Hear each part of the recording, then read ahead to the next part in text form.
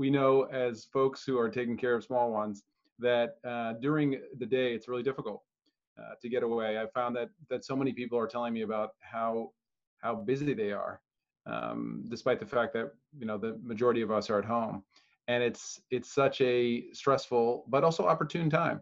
So we're going to talk about that. We're going to talk about all the stresses and all the opportunities today. And we have a very very talented and very experienced panel here to talk with me through some of these issues with you. Um, today we have Laura Paret, who, as David said, is a child psychologist, and also Raquel Cumba, who's a child psychologist here at Union Square Practice. Um, both Laura, welcome Laura and welcome Raquel. Um, Laura and Raquel have extensive experience and expertise um, working with kids of all ages, uh, especially with regard to a, a technique uh, and style of therapy called cognitive behavioral therapy which is a, a, style of therapy that many of you are familiar with that really provides concrete strategies and tools for helping kids and, and people of all ages really overcome anxiety and depression. And now is a time where those tools are really going to be helpful for all of us, uh, all parents here who are listening. So, welcome, guys. Thank Hello. you very much. Um, thank you, everyone, for making the time to come this evening. We really appreciate and are excited to talk with you. I'm glad you brought that up. Um, you know, because it's uh, it's such a hard time to make time. Um, and I think one of the things, you know, for all the parents that are listening, as Laura's saying, it's excellent that you guys are making the time to do this um, because it's easy to just kind of get in the swing of things and handle things as they come. But taking this proactive approach to listen to a few experts uh, talk about this is really a great step. Um, so, you know, talking to you guys, you know, you, are talking to tons of parents um, and tons of kids what what are the things that you're you're hearing from these days? What what comes up mostly in conversations that you're that you're having with parents and kids these days? I'd say it's it's been a range. Um, some from the initial adjustment of just to the news and sort of waiting to hear what was going to happen with everyone's different family members' jobs, um, to adjusting to online schooling, to now as we're nearing the end of the school year, how that's impacting everyone and thinking about summer camps and everything um, that would a family would typically encounter throughout the year. Yeah, uncertainty has been a really big theme as well. Just kind of not knowing about timelines on things, including you know whether school will be back in or not um, before the end of the year. Um, and just how students and parents are responding to that as they navigate um, going forward in this challenging time. Yeah, uncertainty is is to me, I think the the headline, right, of what people are experiencing, not knowing what's coming next and having this changing environment, which we all know, all parents who are listening, that kids don't do very well with that. That's a challenge. Uncertainty for kids, um, they crave certainty. And you know, as as as Laura and and uh, Raquel are talking, you know, one of the things I'd like to ask all the parents here is, you know, to we'd like to hear what the things are that your kids are are faced with um, you know, we're hearing a little bit about uncertainty as Laura's talking about, but we're curious. And if you want to put in the chat box, you know, one thing that your kid is doing, saying that's on your mind, um, it'll be helpful for us to think about as we go through. Later on, uh, David, who's running the whole show here, thank you, David, again, um, is going to, you know, find a few questions that people have. And we're going to try to answer your questions directly. One of the benefits of a webinar, unlike any other kind of podcast or, or video that we might make, is you have a real chance to ask us questions directly about particular things that are happening with your parenting experience. So, you know, back to you guys. Um, so, what what are ways that that parents can can talk through that uncertainty to kids? What's important for parents to think about in that discussion? I think um, acknowledging the uncertainty and all the feelings that that brings up is really important. Making space for that might sound simple or obvious, but with so much going on in adults' lives regarding their work, their family, um, how to take care of everyone, as well as the bills and just all the responsibilities, um, it can be hard to remember that the little ones in your life also need that full um, attention and space to really process their own um, challenges as they see it for their current life. We know in some ways the novelty is worn off.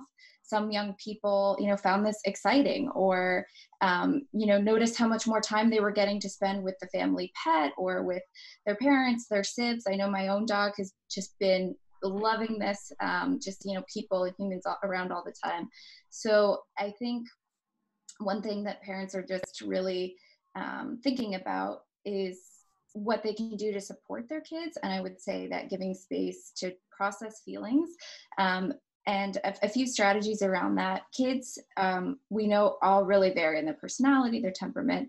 Um, and so it might be helpful, depending on their age and stage and their personality style, to not talk with your kids in the same way or even at the same time. Checking in with them individually, giving them each one to one attention.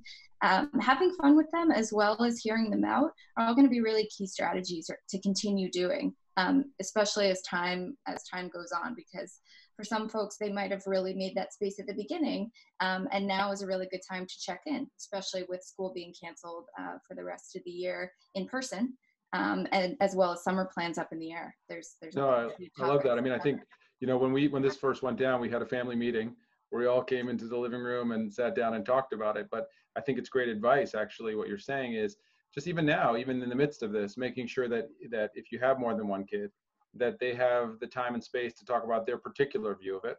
And then also, I think you're saying too is, you know, find the time with your kid, make some time um, that you have a chance to actually put get them in a space where they're really comfortable to talk about it and allow for feelings that you might not know that are there. How would you how would you guys open that conversation? Uh, you know, talk us through it. What what would you say that parents should say to kids to to open a conversation like that? Think it's important to to ask to ask a question. Start with the question. I wonder what's been on your mind lately. Kind of what Laura alluded to is just acknowledging what's happening and then leaving it up with a question. You know, so what's been on your mind? I know the end of the year is coming. I camp is around the corner. I'm wondering if you have any questions. I think the best thing that we can do again, keeping in mind the age of our children, is what's important to them. And some of them might have a lot of questions, and some of them might not have many questions and might feel at peace with what's going on at the moment. So I think the best we can do is not um, plant more anxieties or unneeded anxieties in their world. And so let them lead the conversation as much as they can. And I think that's more so for our younger ones. Our teens, tweens, and older ones obviously have access to a lot of information. So they might have a lot more to question a lot more to comment on. And I think it's also our opportunity to, to clarify some of those misconceptions or myths um, related to any of those topics. Yeah, what, what are some of the misconceptions that you're hearing or the things that some of the things that kids are dealing with that are incorrect or some of the worries that that they have particular worries well, I think some of them are true, which is like worrying about. Um, recently, I was talking to one adolescent who is concerned about their grandparent moving into the house that they're staying at and having a worry about, like, well, what's going to happen if they come and live with us? I, I, I couldn't handle if something happened, and it, blaming themselves essentially if something were to happen to that elder grandparent. And so part of it is acknowledging, right, that worry and recognizing that there are things that we can do to control and manage some of those worries. So it gets back to the original conversation, the ongoing conversation of dealing with COVID, right? So we can wash our hands, we can use hand sanitizers, wearing our masks. We will, you know, whether someone's staying in a certain part of the home versus another part of the home. Um, I think that's been another way for us to help families manage to, reminding them of what it is that they can control. Yeah, well, what I like what you're saying, Raquel, is that I, I, think fundamentally what we try to do with our kids is to fix it. Um, and that there's some things that can be fixed strategically. But a lot of what's happening here with uncertainty, um, you know, can't uh, be fixed. And so finding a way to just validate kids um, and show them that you understand, to empathize and show them that you understand their emotion uh, behind it. I think another point is um, it can feel like worries can just take over and that they can feel kind of unmanageable or overwhelming without some of those strategies that uh, my colleagues have already been discussing. One that I really um, enjoy and encourage families to use is having a specific time to worry, which maybe sounds a little strange, but what that can actually do is kind of give a sense of control to all the other times so that it doesn't feel like you're worrying all the time and you can redirect your child you know let's talk about that when we sit down and just have our reflection period or the time where we air things out. And in that way you're really giving them a tool to notice when their their mind is carrying them away and redirect them to focus on something more at hand or something a little bit um, more enjoyable. Yeah that's great. So just you know quarantining the worry is what you're saying right finding a place to say, hey, we're gonna we're gonna quarantine that worry to this part of the day, um, and then that way, I think that also uh, your your technique helps a lot with folks who are in a situation where kids are repeating their worry over and over again, um, or worrying multiple times a day. Because um, you know what I found is I'm not sure what, you guys think about this, but it's kind of impossible to insulate kids to all the information. I mean, it's just sort of everywhere, and you know.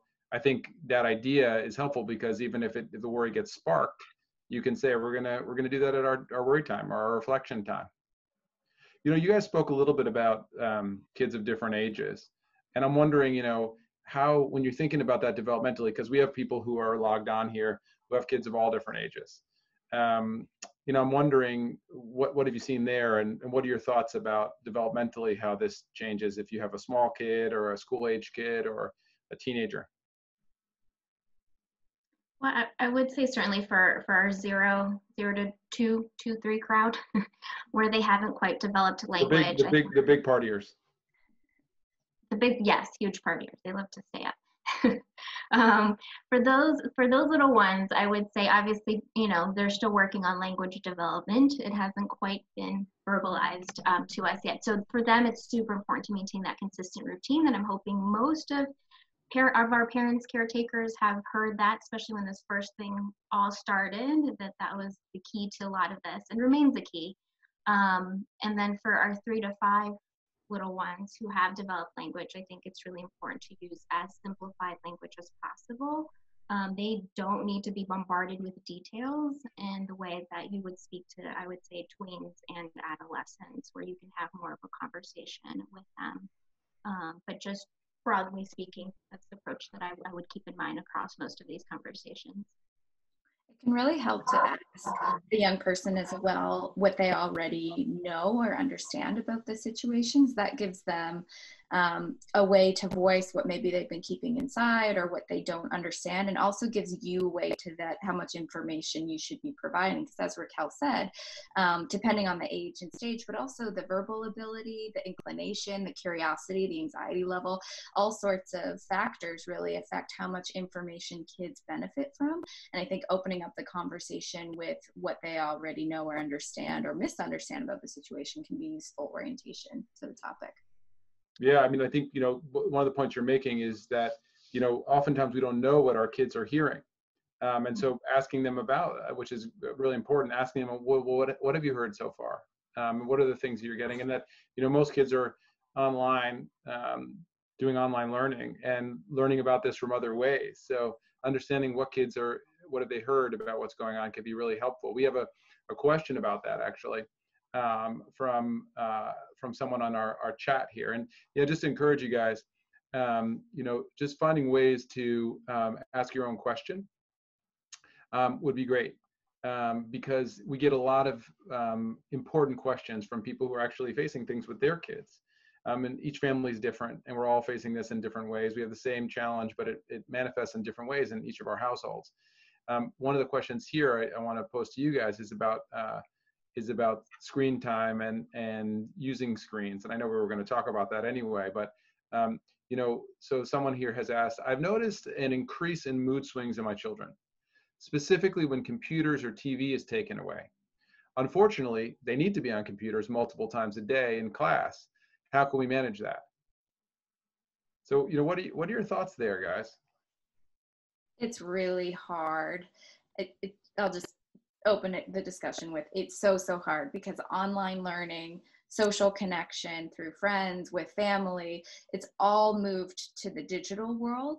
And so we, we're also noticing, even in our own lives for work um, or maintaining the relationships we need to maintain, that screens are so, so key. So, what we're modeling in terms of the kind of time on and time off screens is something we should really look at and think about and help our kids and, and families think through how to set boundaries because even though it seems like maybe we need to be on screens all the time for everything that isn't actually true and new research is pointing to um, you know what we all suspected that being on screens all day does really affect mood negatively. It doesn't feel the same. Um, we wish it did, but it's it's not exactly the same as in real life connection.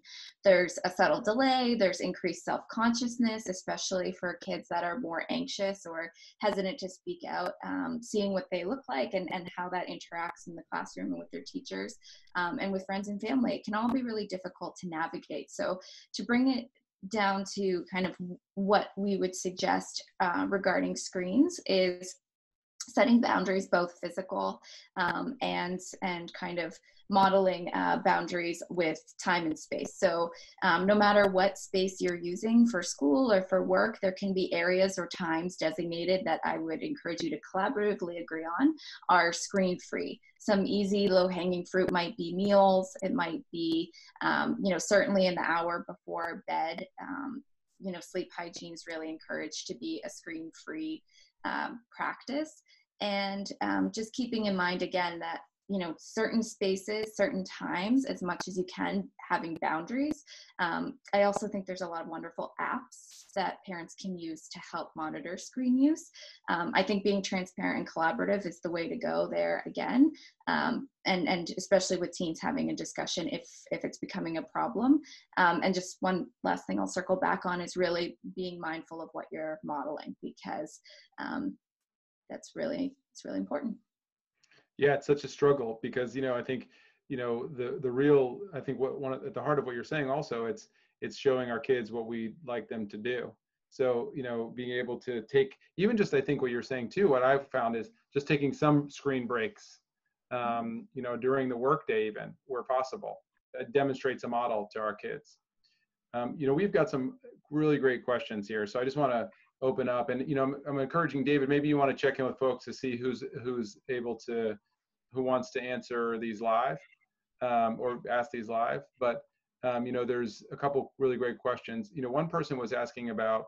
Um, well, I'll just I'll I'll read you uh, one of the the questions here that someone asked, which is, you know, what how do we help or speak to kids who want to isolate themselves from their family? What do you guys think about that?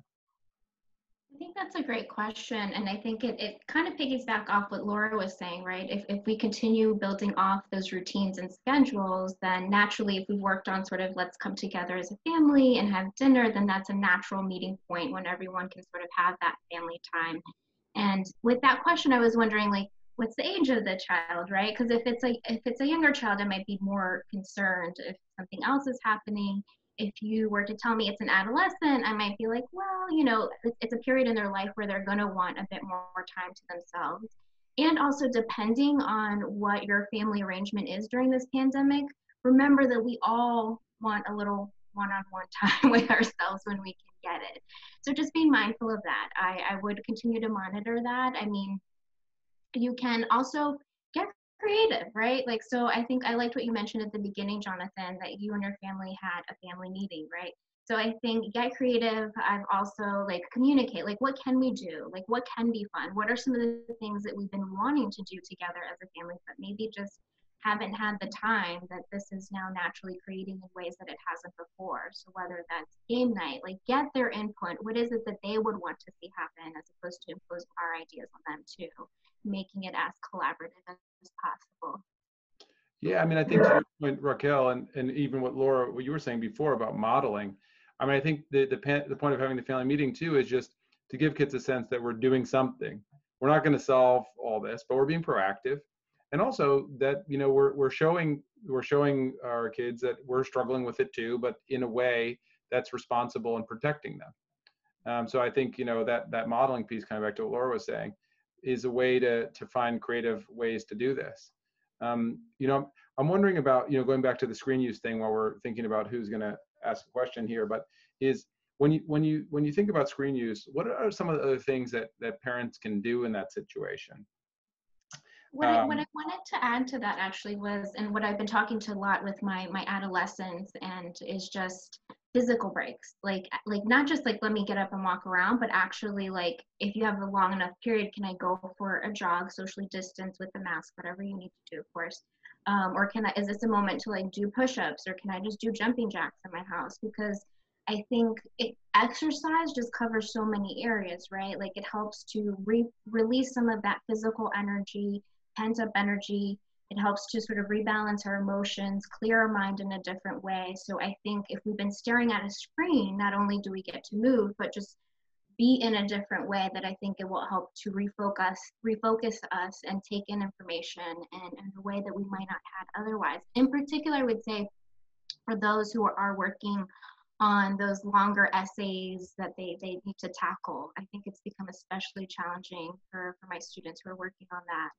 Um, so that's a way to kind of we've been playing around with that and to reboot. Don't forget the exercise. Yeah. So and, and I think what you're saying is build that into a routine. Mm-hmm. So being able to build that into the routine so that people are doing that and even parents can do it with kids.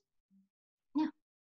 You know, um, there's there's been a couple questions in the in the chat here that I, I really um, I really relate to and that I, I, think a lot of parents are struggling with, which is this idea of how do we as parents um, stay positive, right? So you know, I think the, the plus side to this is that we're all spending so much quality time with our kids. Um, mm-hmm. and me personally, I'm loving that. Um, but the idea of now being, you know, teacher and parent, and, you know, I think people are getting stressed about that. And the idea, for example, of, oh, what if, you know, we think towards next year that some kids might be with us um, into the into the fall and so I'm just curious about what your guys' thoughts are. I mean, I have some ideas, but I'm, I'm curious from a from a child psychology perspective. What what can parents do to keep themselves positive? That was a question that someone asked there. I think uh, self compassion goes a really long way. Um, so it might not always be possible to stay positive, and it might actually be really important um, to the you know the children in your life to show um, not the the um, details of your concerns. You know, certainly young children don't want to, you know, worry about the economics or the health in the same way that adults are capable of. But I think when we talk about staying positive, it's also important to stay kind and to stay um, authentic with that because this is, um, you know, for lack of better way to put it, it really is an unprecedented time. I know that's been all around us, um, but nobody has, you know, the, the playbook on how to manage this all the time in every situation that comes up at home or with work. Um, and our colleague a couple weeks ago did um, a really wonderful job talking about mindful parenting, which is being aware and non judgmental towards one's own um, perceived kind of uh, experience of parenting.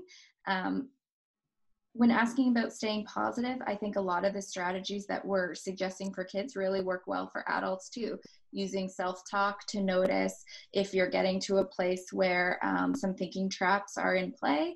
We know common thinking traps that are especially, um, you know, in some ways realistic right now are kind of um, the uncertainty, the potentially seeing everything as a catastrophe, you know, and noticing when we're going down um, that spiral and saving it for worry time for later, talking about it in supportive relationships, um, journaling, validating oneself, seeking validation from others, um, and really um, kind of you know something that we're trying to hit on throughout this talk is promoting resilience.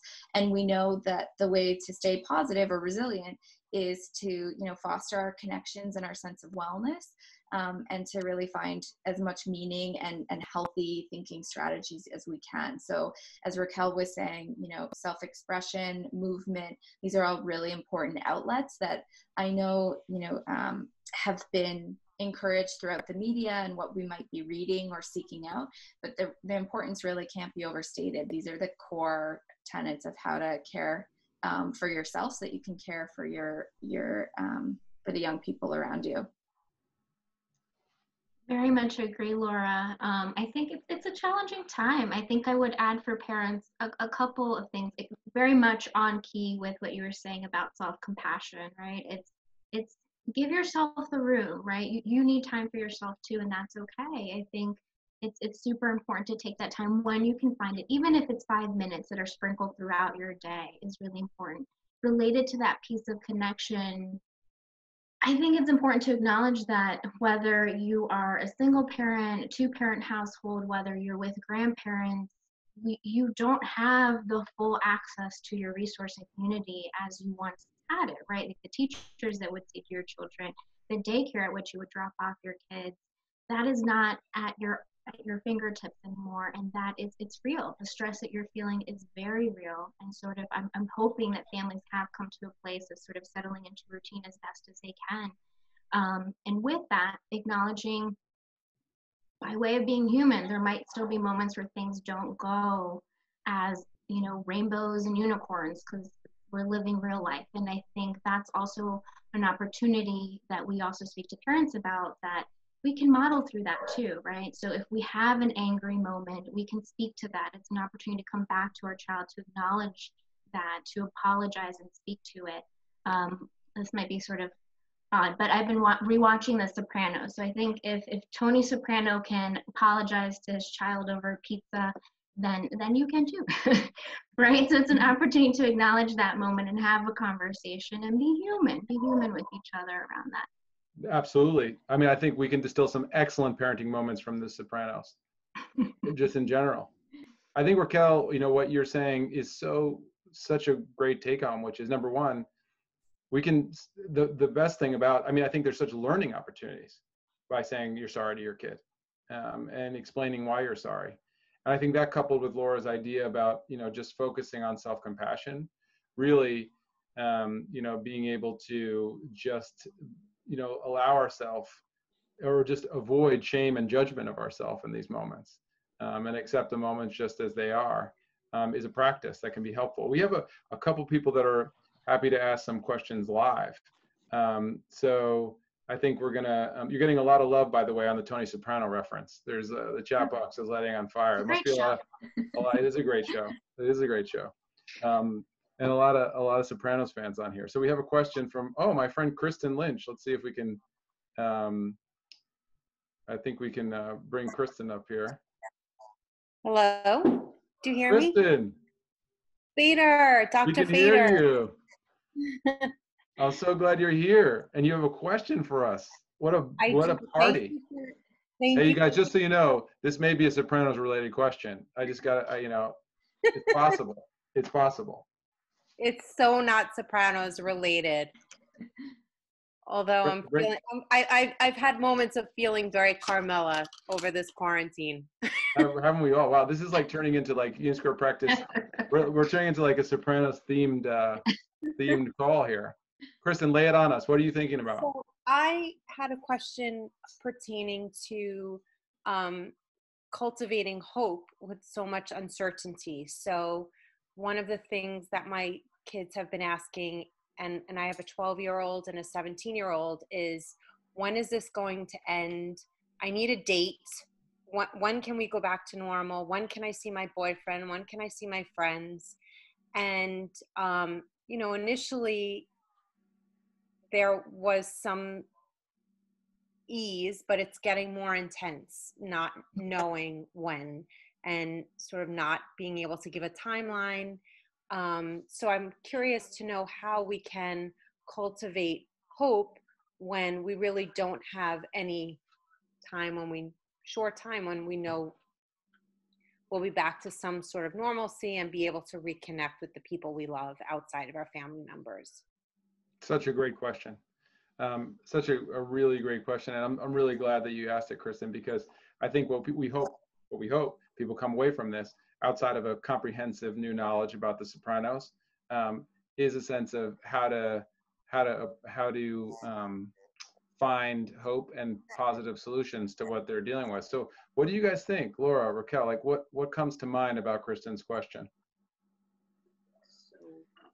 I think it's very much acknowledging where we're at. I, that's that's come up with a couple of my adolescents as well. Um, I think it's it's getting back a couple I would say a couple pieces, right? So what what is it that we can be grateful in this moment, sort of bringing their minds to the present moment. In this very moment, what is it that you're grateful for? And that's something else that we've also talked about, sort of sprinkling more on a daily basis, I think now more so than ever.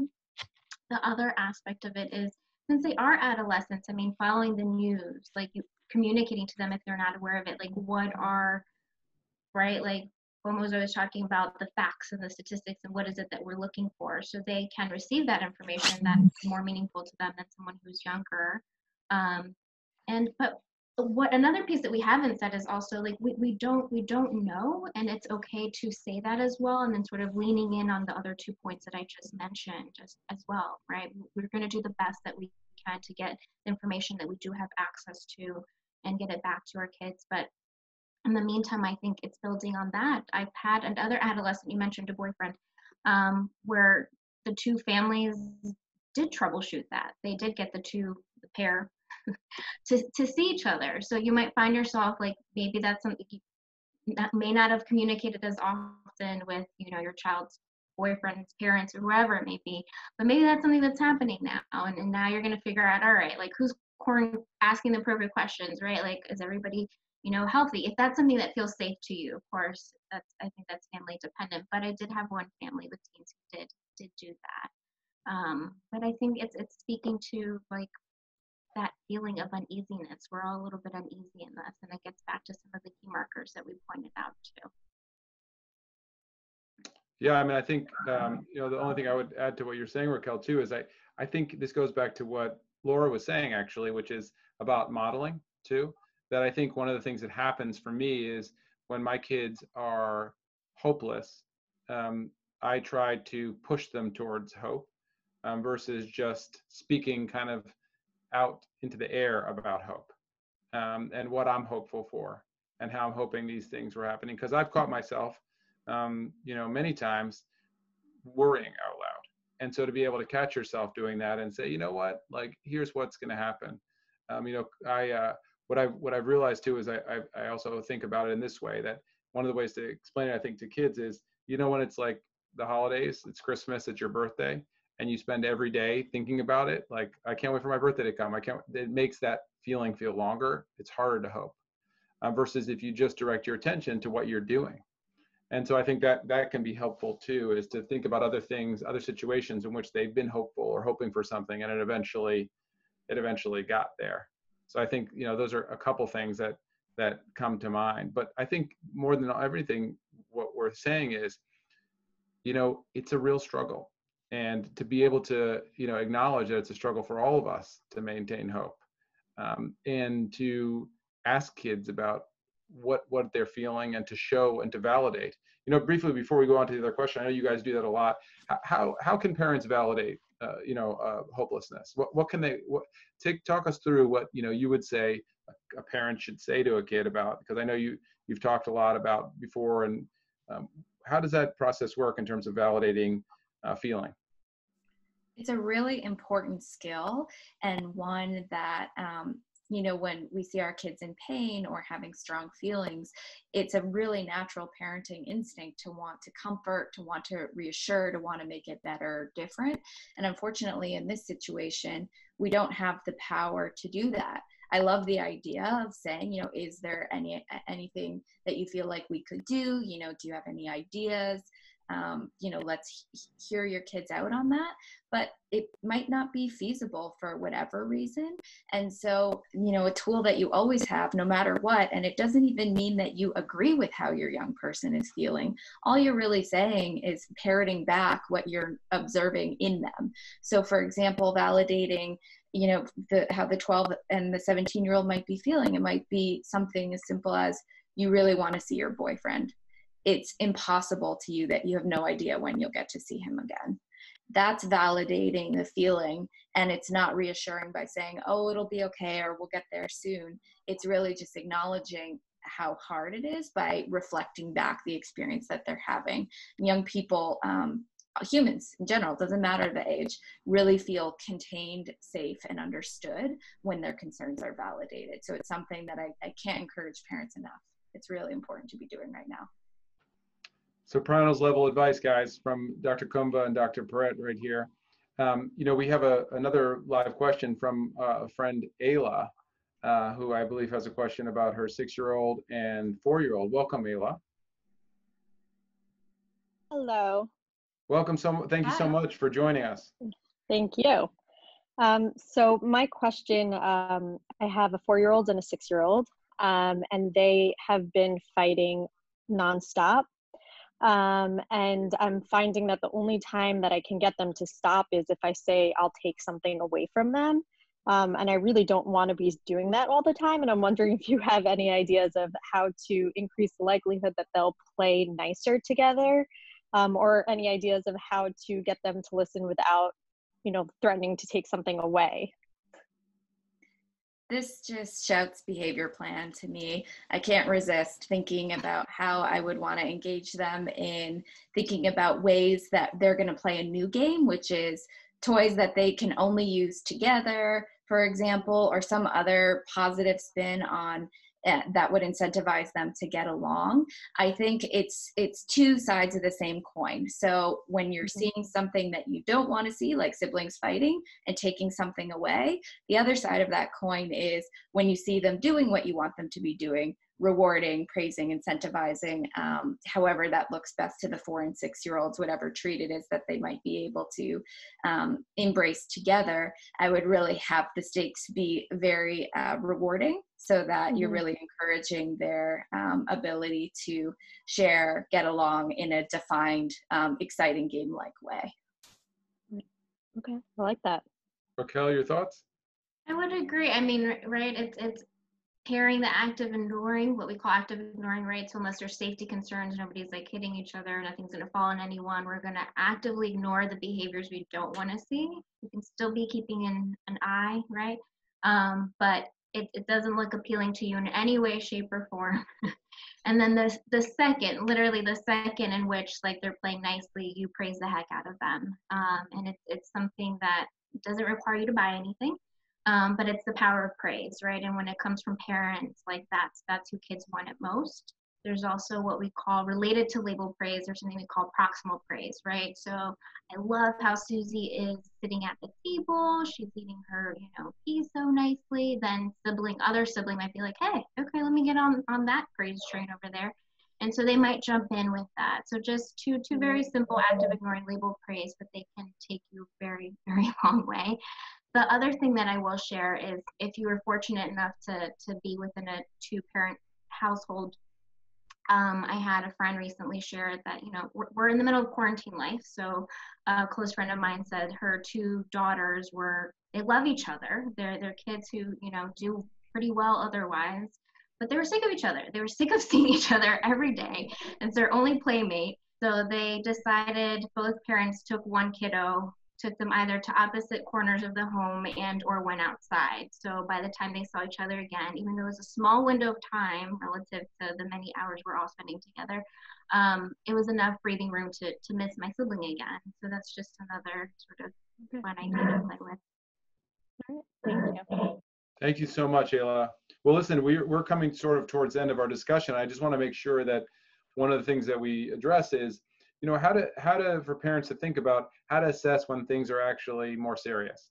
And I'm just curious, in brief, you know, what are things that, that parents should look out for, for kids and especially teenagers that would make them think, okay, I should probably consult with a mental health professional? That's also a great question. So I, I think I would acknowledge that during this time, I mean, we need we need to. It's unprecedented times. It's it's adverse times, some more so for some families, more so than others, and just really recognizing that. And when we're faced with these type of challenges for our kiddos who have reached certain developmental milestones, we might see some regression in that. So, a very concrete example of that is a little one who's toilet trained and now all of a sudden they're having accidents again and they hadn't been for a very long time um, just recognizing that that might be related to the current state in which we're in if that does not resolve itself within one or two weeks um, that's cause for concern so if we're seeing milestones that have been reached step back one or two weeks haven't resolved continue to keep an eye on it um, more generally if kids are becoming withdrawn like as, as formally I think related to one of the questions were, but like on an excessive basis. Um, Laura, I don't know if you want to chime in with some other sort of red flags to I completely agree. I think changes in behavior that either suggest a regression or just, um, you know, a deviation in terms of sleep, uh, reactivity, mood, appetite, um, willingness to engage with friends or family. I think these can all be indicators of difficulties from a mental health um, perspective. And even more obviously, if, if kids or teens are talking about a huge uptick in anxiety or feeling really down or irritable or out of control, or you're seeing that in their behavior, um, then, you know, certainly trusting your instincts and keeping note of what you're seeing, asking them, you know, very directly. We know that you know one of the most important um, supports that young people can have is parents who recognize changes and talk with them about it in a really open and safe um, way that shows that you accept you know no matter what's going on that you're there to support and help your young person um, so I, I, hope that answers the question because that's a really important um, topic that we hadn't gotten to yet well i, I think Laura, add, oh. no go ahead raquel Sorry, John. I was just going to say what I would add is um, sleep, sleep routine, changes in eating.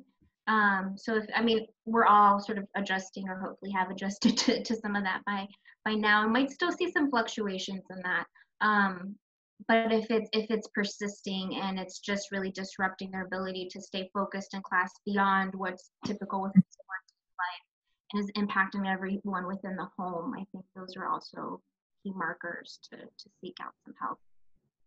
Yeah, I just I think you know what you guys are saying is so important, especially the piece that Laura too you mentioned about, you know, like one thing that we can all do as parents is pay close attention to any changes that our kids are experiencing and ask them, um, and you know, and asking them open-ended questions and and don't take I don't know, right? Like keep going, find different ways, um, you know, and there's so many different ways to ask a question, and you know that often kids need their time. I find that a lot of that a lot of kids they want to talk about it kind of late at night, like right before bedtime. So you know each kid has their own way of talking about it, and I think you know closing on that point that just being curious about our kids and asking them questions in a way that you know open-ended questions as Laura um, and Raquel have been talking about. You guys, I want to thank you so much for coming on and doing this. I know so many parents got a lot out of this um, and that we're also going to help out HBO with some new subscriptions. Um, there he is. There's your there's your role model right there. David is always clutch. Nice, uh, there's there's the excellent parents uh, right there. It's all about pizza. Um, but thank you so much for for coming on. We really really really appreciate it, and uh, I will look forward to having you guys back on. Um, so thank you so much for joining us for this discussion uh, with, with Dr. Paret and, and uh, Dr. Cumba. We will be coming back next week and we will uh, be discussing, we'll be following up on more mental skills. So some folks were asking questions about how to stay positive and hopeful, and we're going to be talking in detail about that topic. What are the mental skills that you can use as a parent, as someone at work, the same techniques and strategies that athletes use um, and talking uh, about that with a few of our expert mental skills coaches um, here that work with me with sports teams and firefighters, et cetera. So please join us next week. We'll be sending out some information on that, and you can check back at our website, www.unionsquarepractice.com. Um, you can reach out to uh, Raquel and uh, and Laura on our site if you have further questions for them. I'm sure they'd be happy to connect with you about other questions you might have about your kiddos. Until then, we wish you all health uh, and and as much happiness as you can find in these in these times. And we'll talk to you next week. Thank you so much.